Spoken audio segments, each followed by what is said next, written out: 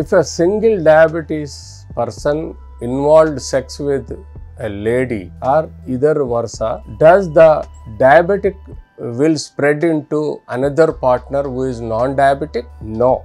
The diabetes cannot be transferable from one man to another human, one human to another human.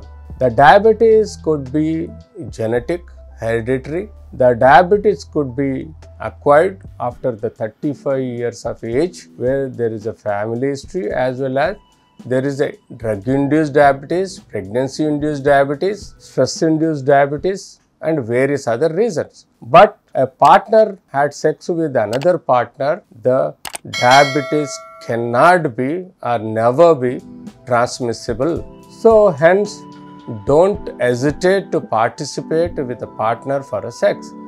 The obviously in diabetics, the weakness in a activity could happen in a human who had an uncontrolled diabetes due to peripheral diabetic neuropathy. There is a premature ejaculation, there is a possibility of dysfunction of the penis, there is a possibility of certain uh, letharginess and then generalized weakness in the diabetes leads to unsatisfactory sexual activities. So obviously when a diabetic is participated with a partner in sex activity, the disease cannot be transmissible to another partner due to sexual activities. So, you must know that the diabetes only possible in in hereditary genetic disorders and then there is a possibility of acquired due to